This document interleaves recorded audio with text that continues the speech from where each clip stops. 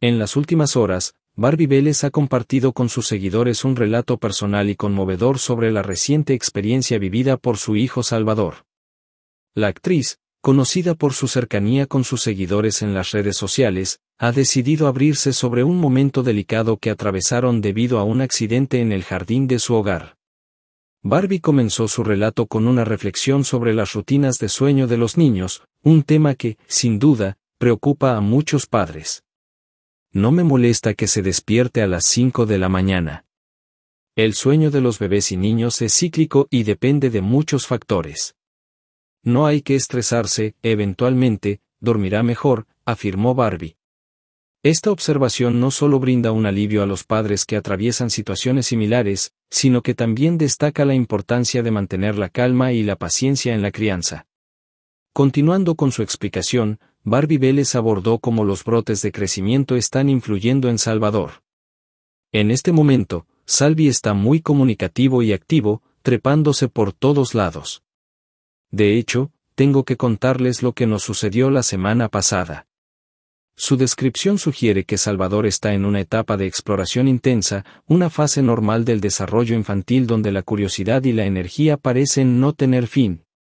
La actriz no dudó en mencionar que, además de los brotes de crecimiento, otros factores como la aparición de dientes o resfriados pueden tener un impacto significativo en el comportamiento de los niños. Es complicado esperar que duerma hasta las 10 de la mañana, Pobre niño, añadió, señalando la dificultad de sincronizar el ritmo del sueño de Salvador con el de los adultos. Este comentario resalta la realidad de los desafíos que enfrentan los padres en la crianza y el manejo de las necesidades cambiantes de los niños pequeños. Barbie pasó a relatar el incidente que causó preocupación en su familia. La semana pasada, se cayó mientras jugaba. Como les dije, está en constante movimiento. Se lastimó y tuvimos que llevarlo a que le dieran algunos puntos. Fue bastante impactante para nosotros, explicó.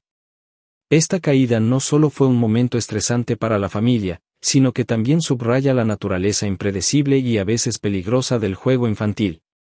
La forma en que Barbie describe el accidente refleja el impacto emocional que estos eventos pueden tener en los padres, a pesar de que los niños a menudo se recuperan rápidamente. En la narración del incidente, Barbie detalló que llevaron a Salvador a la guardia médica, donde fueron atendidos por profesionales médicos. Fuimos a la guardia médica y, afortunadamente, atendió una pediatra y una cirujana plástica muy amables. Le pusieron anestesia y le hicieron dos puntos. Esta parte del relato no solo muestra la atención y cuidado que recibió Salvador, sino también el alivio que sintieron al encontrar un equipo médico competente y comprensivo. Afortunadamente, el tratamiento de Salvador fue exitoso. Barbie continuó con su relato, indicando que, después del procedimiento, estuvo muy bien. No se quejaba, es un sol. Esta observación resalta la fortaleza y la resiliencia de Salvador, así como el papel de los padres en manejar el estrés y la preocupación que estos eventos pueden generar. Barbie concluyó su relato con una nota de gratitud y alivio, fue más traumático para nosotros que para él. Pero ya está recuperado. Esta conclusión no solo proporciona un cierre positivo al relato, sino que también ofrece una perspectiva valiosa sobre cómo los padres pueden enfrentar situaciones difíciles con una mezcla de preocupación y optimismo. En resumen, el relato de Barbie Vélez sobre el accidente de su hijo Salvador ofrece una ventana a las realidades de la crianza infantil y los desafíos que enfrentan los padres.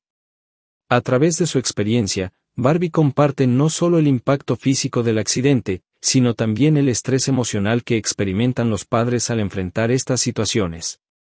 Su capacidad para abordar estos temas con honestidad y sensibilidad proporciona un valioso ejemplo de cómo manejar las dificultades con calma y positividad.